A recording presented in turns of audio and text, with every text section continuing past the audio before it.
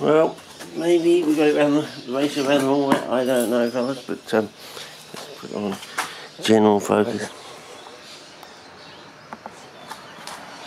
Just in case. Oh, get me a Google standard uh, perlite, I think. So we've got had 700 of poly because we think poly more poly than perlite, but that could be wrong for this. Okay, that's about it. Put it in there. Now, question is, oh, we let's fill this up only halfway. Okay. So is, is the idea we just wet the perlite, not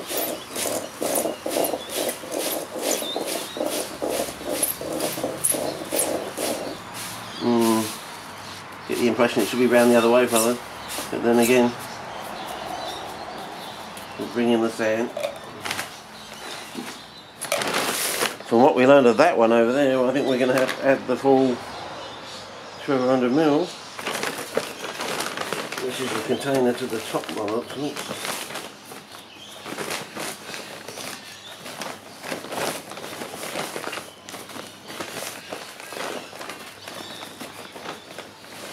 Okay, 1200. See how that goes.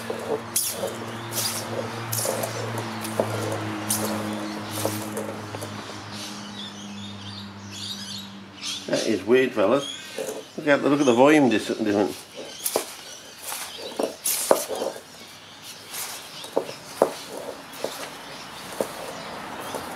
Well, I suppose the polystyrene is incompressible to a certain extent, but still.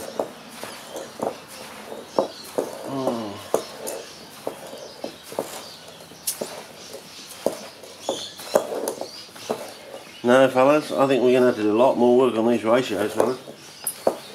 That was just so, isn't it? Almost like we're heading into new, with all our experience and knowledge over there, it still looks like we're heading into new territory. Who would have thunk it? Let's see what happens when we add a bit, bit more, the same amount of orders we had before. There we go. Yeah, that goes.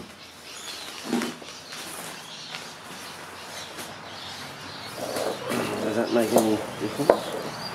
So now we've got the same amount of water as in that other container, as far as we know.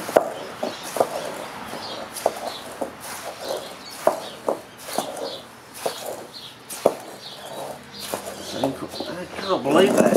I cannot believe it's the same amount of sand. You saw me, you saw me measure it out. The old 600 and the old up the top. It's still. Mm.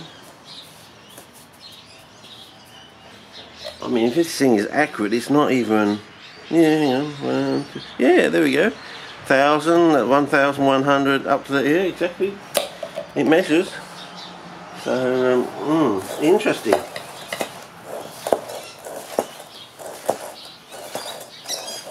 So, do you think that's enough polystyrene in the sand to generate enough reductive flammable gas to keep the organism in a reductive state and growing in the in the red form rather than the green?